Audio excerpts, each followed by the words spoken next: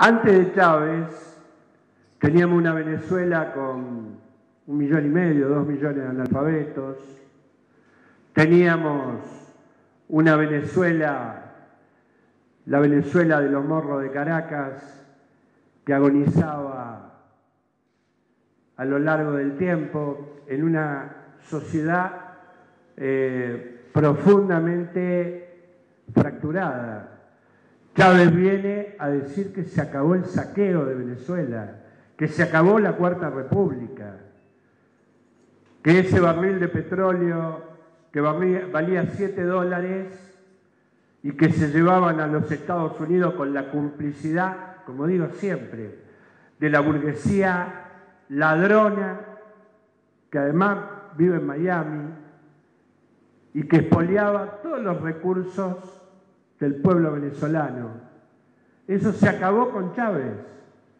Chávez trabajó con hermanos del sur pobre de la tierra, reconstruyeron la OPEP y hoy el barril de petróleo vale entre 80 y 120 dólares de acuerdo a las condiciones del mercado.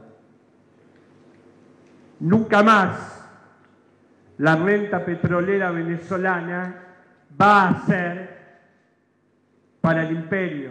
Tenemos que estar también muy atentos a los especuladores que no siempre son de la derecha, porque han surgido algunos aparentes amigos de Venezuela que hacen especulaciones miserables, partiendo de que, bueno, sí, Diosdado Cabello, partiendo de las divisiones que quieren crear, están sirviendo al enemigo.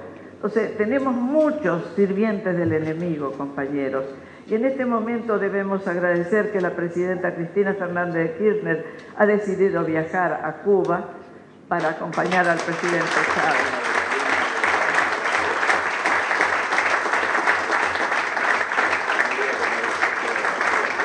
Tenemos que agradecer que Argentina tiene su representación también en este momento caminando en Venezuela con el canciller, el embajador.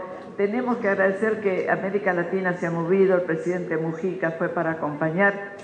Lo que está mostrando América Latina, ellos están como representantes de estos pueblos y estos pueblos han estado diciendo todo este tiempo, porque a nivel popular ha sido una de las cadenas más grandes contra la cadena del miedo, que no solo es nacional, sino internacional, nosotros tenemos una cadena de boca a boca, de día por día, de los pueblos en la calle diciendo no al regreso a otros tiempos que no queremos regresar.